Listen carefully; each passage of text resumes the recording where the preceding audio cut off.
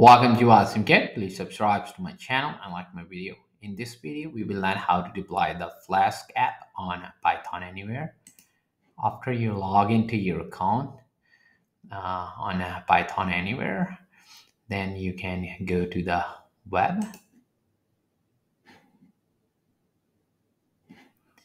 and here you can click on add new web app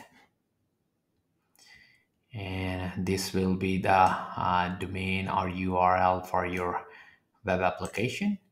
And then click on next. And here you can select uh, Python web framework. We are going to go with the Flask and the Python version. I will select Python 310 and then you can see uh, quick start new Flask project. This file is your startup file for your Flask project.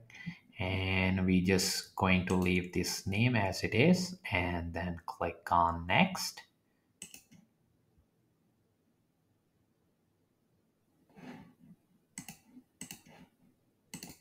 And now we can see all done. Your web app is now set up and here is when you scroll down a bit you can see the source code path to our file.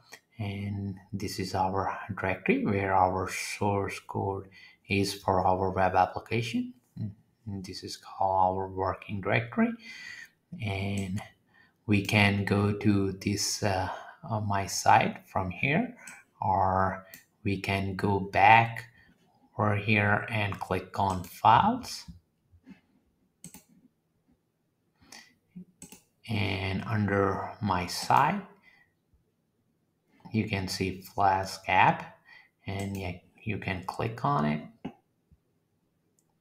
And this is the default code for our Flask app and you can also run from here uh, your application